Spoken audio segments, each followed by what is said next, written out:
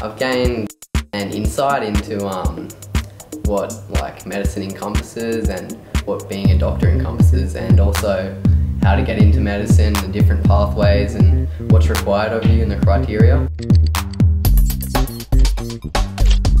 When I when I decided to sign up, I was sort of like, oh, I'm not sure whether I do want to actually study medicine. I'll go to this and see if it sort of inspires me or sort of lets me know that it's not for me. But it's definitely, I'm definitely further towards um, medicine now after today. Yeah, it's been a really like amazing experience So learning about all the needles and I like know, just like giving people injections and um, taking blood. delivering babies. Yeah.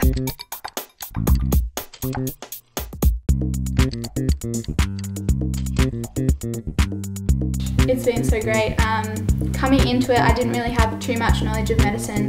Having like, I know some families have that in their on along the lines of their family, and they kind of like follow that. And I don't really have any of that, so it was really interesting to see the ins and outs of medicine, getting in how you get go about that. So it's really good.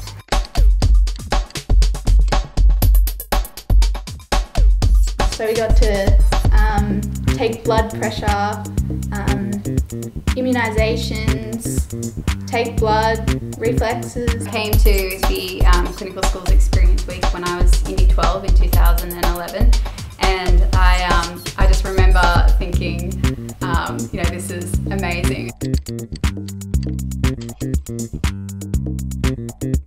This is what I really want to do and talking to the students was so great. It was really nice. First of all, just talking to university students, but also talking to people who had the same sort of passions that I did and, and who told me about how great this degree was.